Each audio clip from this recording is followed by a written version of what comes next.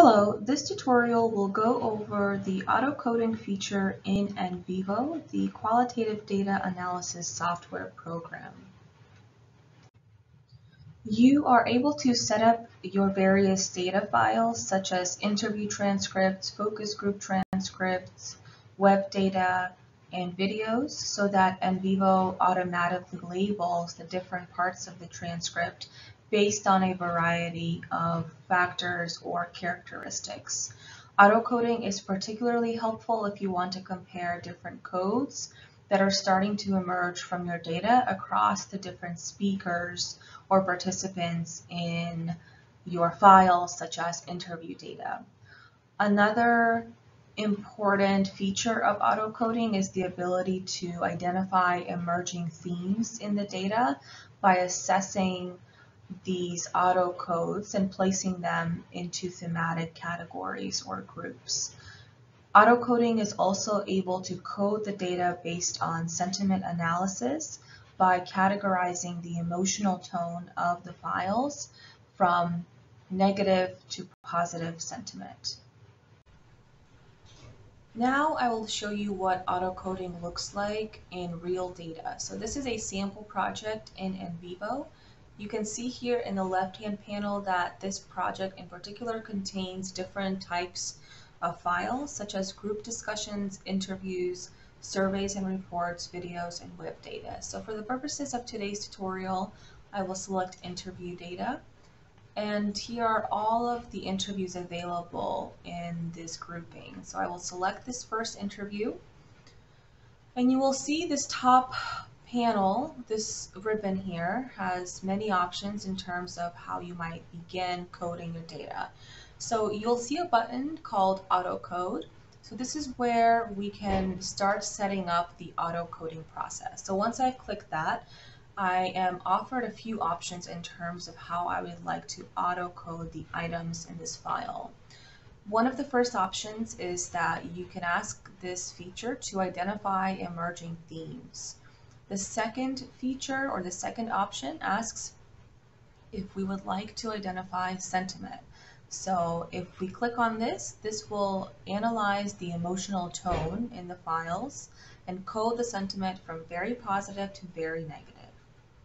If there are multiple speakers in these interviews, particularly in focus group interviews, this might be helpful to auto code by speaker name to be able to identify what was said by what participant. You might also use the style or the structure of the overall interview to be coded by how it was structured uh, based on paragraph style. You might also wish to use an existing coding pattern and apply it to this interview and to any others. So I will select this first option of identifying themes. I will click on next this should only take a few seconds and now you can see that uh, this auto coding feature was able to pull out some preliminary exploratory themes for us. The suggestion here is that you still should go back through these. Uh, do not rely on the auto on the auto coding alone to inform your themes for your project, but this is a good starting point in terms of beginning the coding process. You can see that this feature created identical parent and child codes in a couple of different sections. So good feedback was coded as a parent code as well as a child code. That might not be very helpful, so you would either go through and delete these or you can leave them alone if you are just exploring these emerging themes. Uh, what this feature will do is it will uh, place all of these auto-coded themes in a folder on its own. So you can still conduct your own coding and maybe use your coding to compare this auto coding pattern.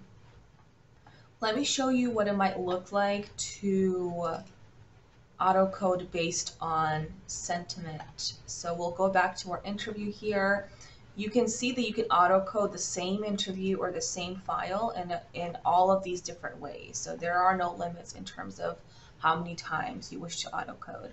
So let's click on identify sentiment.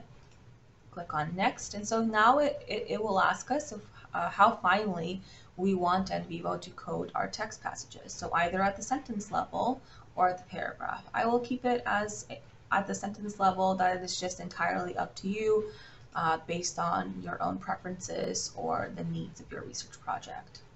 So again, this should take a few seconds. And now you can see that it has coded into these four different sentiment categories, very negative, mo moderately negative, moderately positive, and very positive. It also created a visual graph for us. You can see that most of the references were coded as neutral, meaning there was not really any, uh, not a negative nor a positive attribute assigned to this particular interview.